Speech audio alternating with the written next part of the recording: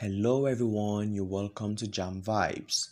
It's been over two to three days already since Prince Mangosuthu Buthelezi departed from this world, and uh, the Mangosuthu family allegedly blames King Misuzulu in one way or the other for their father's departure from this world. Guys, at this revelation will leave you in a way, so stay glued to watch this video right up to the end. Before I give you all the entire details, kindly follow Jam Vibes please, like this video, drop a comment, and most importantly, share this video to as many friends as possible. Share it to the ends of the world and to all the groups you find yourself in, guys, please, because this is really one of the only ways in which you can show me genuine love and support. Amazingly, the group of family of the ruler Mangosuthu Buthelezi has uncovered that his well-being has worked on essentially following his questionable gathering with Lord Misuzulu kaZwelithini. The gathering, which was held in secret, purportedly transformed into a showdown with the Misuzulu ruler communicating his dissatisfaction by hitting his hands on the table over and over again, talking firmly to Prince Mangosuthu Buthelezi, who is definitely an aged person. And we know the way aged people hate to be disrespected, especially by people who are way younger than them. This occurred during a mystery meeting between ruler Mangosuthu Buthelezi, a South African lawmaker, a politician, and the Zulu Prime Minister, and Lord Misuzulu kaZwelithini, the head of the Zulu kingdom. Albeit the subtleties that the gathering have not been disclosed, all around informed sources demonstrate that it depended on significant issues concerning the Zulu rhythm.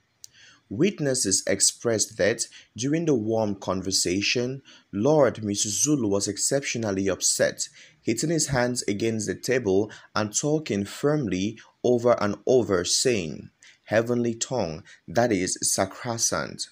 It was accounted for that the occurrence stunned the people who were there and were stressed over the circumstance, expanding strain.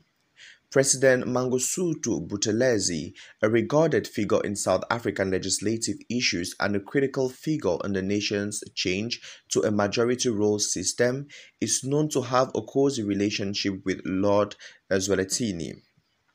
Be that as it may, disagreement has emerged inside the Zulu royal family since the demise of Lord Zwelithini and the rising of ruler Misuzulu. After the questionable gathering, ruler Mangosuthu family uncovered that his well-being had crumbled fundamentally. It was accounted for that the debate and the utilization of harsh speech during the gathering impacted him enormously.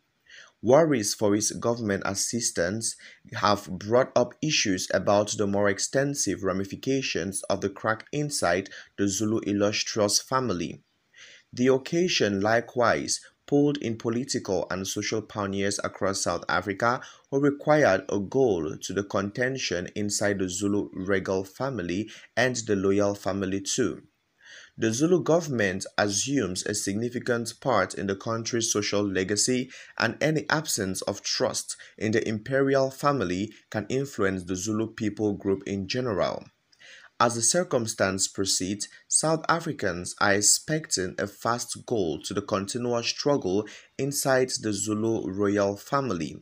And most importantly, the declining soundness of ruler Mangosuthu Buthelezi is an obvious sign of the significance of keeping up with solidarity and steadiness inside the Zulu people and South African culture all in all. It is just so unfortunate and sad that things definitely happened the way they happened. But then again, we keep hoping that at the end of the day, more of such are not going to happen no more. And like they say, we learn from our mistakes. And this is a mistake that I always tell people do not sleep without sorting out your issues with your brothers, your sisters, your friends. Do not sleep if you are still in problems or in pain or in disagreement with somebody. Learn to fix up and patch up all your issues all your messes with your loved ones before you actually you know rest because nobody knows tomorrow if the person passes away you will never forgive yourself for not solving that issue you had with the person before the person passed on. Guys tell me in the comment section what you think. I love you all from the bottom of my heart